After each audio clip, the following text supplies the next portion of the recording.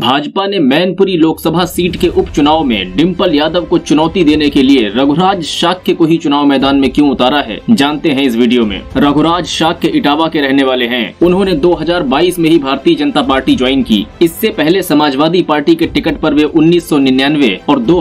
में सांसद चुने जा चुके हैं दो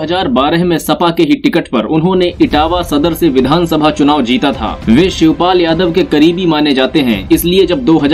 में शिवपाल यादव ने सपा से बगावत करते हुए प्रगतिशील समाजवादी पार्टी की स्थापना की तो रघुराज शाक्य भी सपा से इस्तीफा देकर शिवपाल के साथ हो लिए थे भाजपा द्वारा रघुराज यादव को टिकट देने के पीछे कुछ जातिगत आंकड़ों की भी महत्वपूर्ण भूमिका है मैनपुरी सीट पर यादव के बाद सबसे अधिक मतदाता शाक्य जाति के ही है दो बार सांसद तथा एक बार विधायक रह चुके रघुराज शाक्य उस क्षेत्र के जमीनी नेता है पर भाजपा को रघुराज शाक्य के इस अनुभव का कितना फायदा मिलता है यह तो आठ दिसम्बर को चुनाव नतीजे ही बताएंगे